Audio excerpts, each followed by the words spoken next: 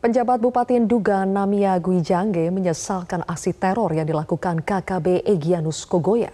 Namia ingin wilayahnya dan masyarakat dapat berkembang baik pembangunan infrastruktur, ekonomi, kesehatan maupun pendidikan.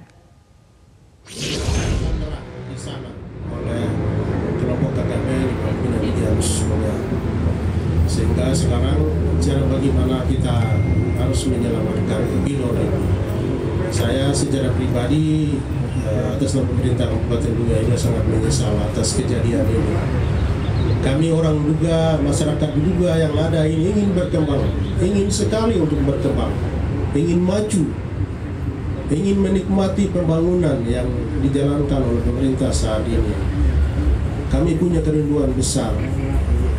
Anak-anak kami semua ingin berkembang, maju tapi kami selalu dihadang, dihalangi, dibatasi terus menerus sampai kapan saya harus berkembang.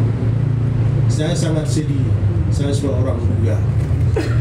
Masyarakat saya yang ada di beberapa distrik waktu lalu tahun 2018 terjadi peristiwa di sana sampai masyarakat saya sudah tercebar, tercerai-berai di mana-mana banyak korban di mana-mana terus.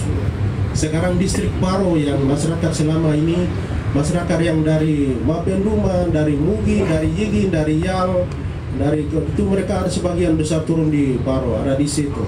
Nah, sekarang masuk lagi mengganggu masyarakat, mengusir lagi di situ. Sekarang masyarakat ini mau ke mana? Saya sangat sedih, sangat prihatin dengan kondisi ini.